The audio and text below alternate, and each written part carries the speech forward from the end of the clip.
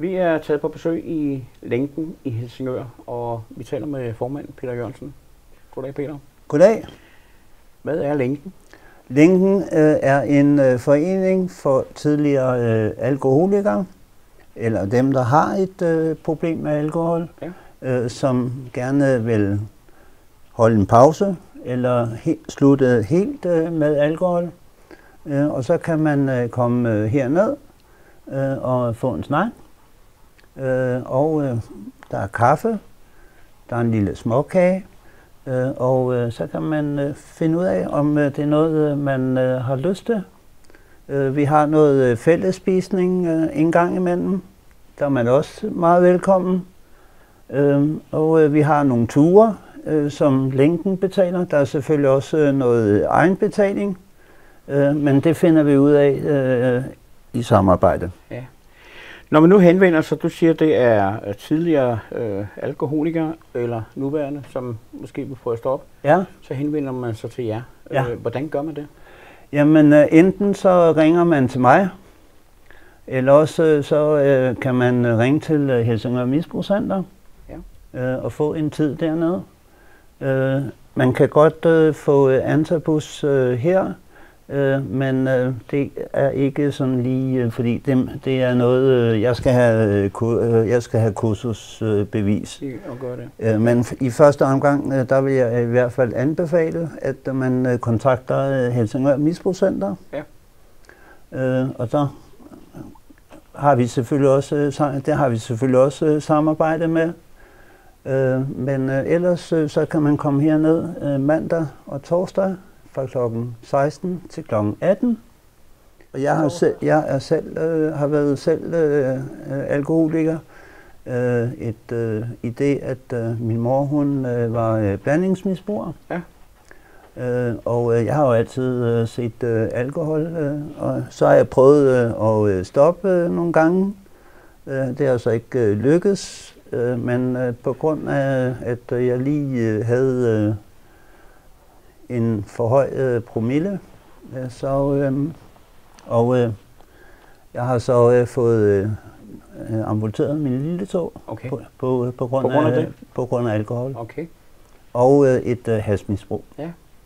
Øh, det er selvfølgelig, øh, og der øh, så jeg så, at nu skal det, nu skal det være slut.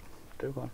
Når man nu henvender sig her til, til jer, øh, det er jo selvfølgelig fortroligt. Jeg vil gå ud fra, at der er noget tavshedspligt. Ja, øh, der er tavshedspligt øh, hernede, og ja. det gælder for alle medlemmer. Ja. Nu fortæller du så lidt om, om øh, hvad der sådan er sket ting. Har I gjort nogen forskel øh, med jeres forening, for eksempel over for medlemmer, som, hvor det virkelig er lykkedes at så sige, jamen altså, tu, jeg kom totalt ud af misbrug, eller? Det, det er så svært. For mit vedkommende, der, der er det jo selvfølgelig øh, svært, øh, men øh,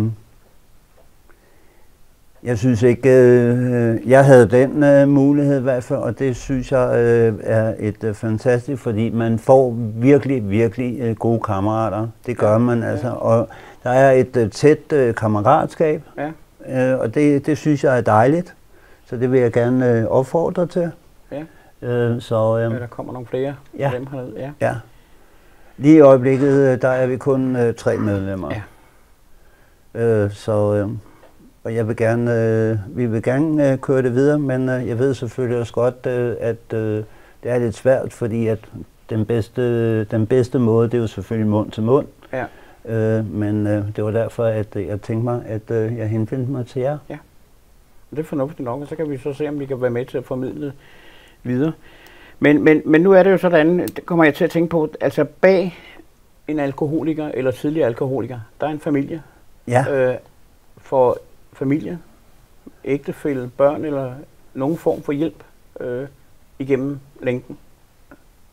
Øh, ikke, øh, altså, øh, det ved jeg ikke. Det, øh, altså, det ved jeg ikke. Jeg kan jo fornemme lidt, at, at I virkelig tager af, af de mennesker, der kommer her, øh, og, og I har selvfølgelig ja. selv nogle lignende problemer. I er jo ikke nogen, der, der, der sidder med nogle løftede pegefinger, øh, går I ud fra over for, for de mennesker. Nej, nej, altså, det, det gør vi ikke. Altså, vi, vi øh, tager øh, en, øh, en snak, og øh, hvis det så er, at øh, personen øh, ikke bryder sig om, at øh, medlemmerne sidder hernede. Der har vi så et øh, samtalerum, øh, hvor enten øh, et medlem eller mig øh, går ind, og så snakker vi om det, og så er det mig, øh, der øh, har øh, tavshedspligt. Ja.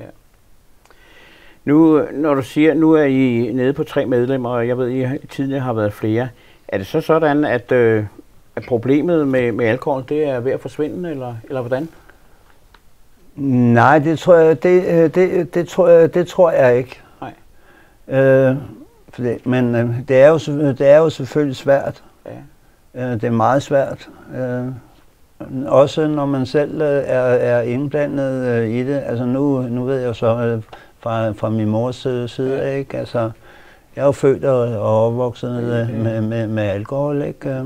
Øh. Og så havde jeg jo så nogle kammerater, ah, det nu, vi skal skulle lige have en fyrsens ja. ikke? Ah, kom nu, Peter, ja. ikke? Ah, det er fredag, og ja. ah, vi skal i byen. Og, og der er pres i det også. Ikke? Altså, ja. så er der måske sådan noget, noget, noget gru, gruppepres. Ja, ja. Men er der noget skam i det at være alkoholiker? Er det svært at erkende? For mit, for mit vedkommende, der, der var det, men nu, øh, har jeg, nu øh, har jeg så været øh, øh, på Antabus øh, det sidste øh, halve år.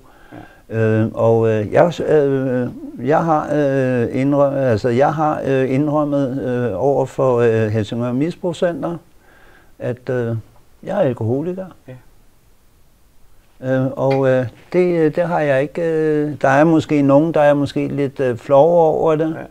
Ja. Øh, men øh, jeg har, jeg har bare besluttet mig øh, til, at øh, nu, nu skal det være slut.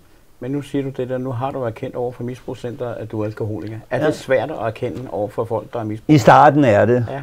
I starten, øh, I starten er det. I hvert fald øh, for mig, og det tror jeg også øh, øh mange alkoholikere, øh, det, det tror jeg, at det, det, er, det er en skam. Mm. Det, det må være det er et eller andet tabu øh, for dem, øh, så... Øh, jeg vil i hvert fald øh, opfordre i hvert fald til at komme ned og kigge. Ja. Så man kan få noget råd og vejledning, og ja. folk, der selv ved, hvad det hele det drejer sig om. Ja. Så.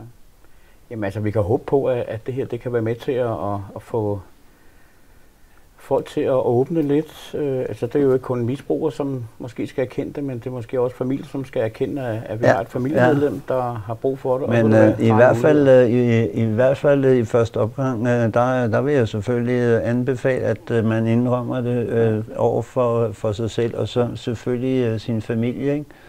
Ja. Øh, nu er jeg selv øh, skilsmissebarn, øh, så, og det, det var på grund af alkohol. Ja.